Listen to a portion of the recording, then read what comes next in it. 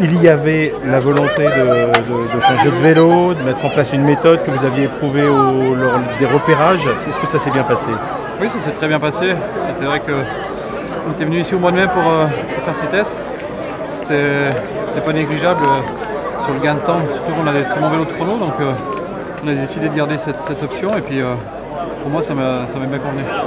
C'est pas compliqué de changer une machine justement? Est-ce que ça n'implique pas. un- Il y a déjà le changement de rythme lié au relief?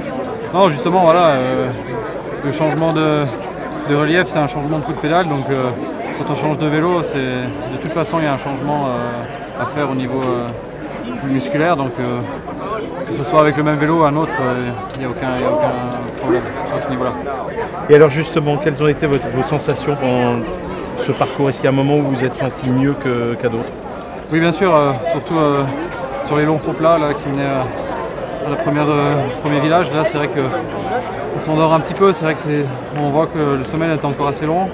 C'est, euh, là, c'est vraiment l'endroit euh, où on s'endort un petit peu. Donc, pour moi, c'était l'endroit le plus, di- plus difficile. Et puis après, avec les changements de pente et tout ça, c'est vrai que là, on arrive à rester un peu plus concentré. Vous allez rester concentré jusqu'à la fin de ce Tour de France, même si le classement semble de, de jour en jour de plus en plus établi.